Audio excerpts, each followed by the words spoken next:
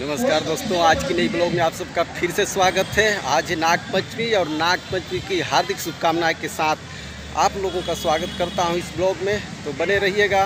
अभी फ़िलहाल मैं हूँ मल्टीपर्पज़ ग्राउंड में, जहाँ कुश्ती प्रतियोगिता हो रहा है। तो चलते हैं, देखते हैं क्या क्या हो रहा है।